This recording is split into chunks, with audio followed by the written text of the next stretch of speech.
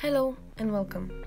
So I'm doing this series of three videos to make you avoid, you that is probably learning or wants to learn French, those common mistakes that foreigners do in French. In this video, we will concentrate on the mistakes in the letters pronunciation. First of all, the H at the beginning of the words is always mute, not like in English. You will say O, that means up, and not ho. Or hiver, that means winter, and not hiver. Secondly, the consonants are generally mute at the end of the words. You will not say blanc, but blanc, or trop, but trop. And you really have to be careful about that. But there are some exceptions. With the numbers, for example, you will have to say sept and not si, or huit, neuf, dix. But also with some words that finish with R, like bonjour, en noir, en miroir.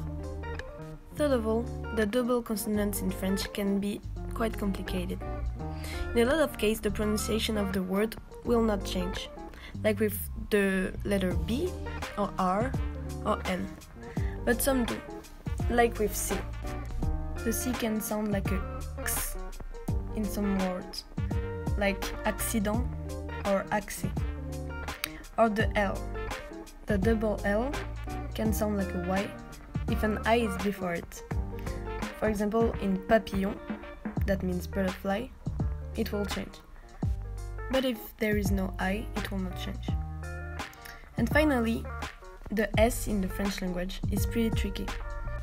At the beginning of the words, it will sound like S, but in the middle there is two Ks. If there is just one S, it will sound like a Z. But if there is two, it will also sound like S. I heard a lot of learners in French that were confused about this sound.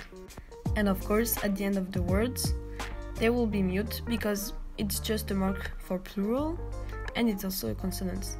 Except for ours, that means bear. So thank you for your attention and I hope that you learned a bit from this video.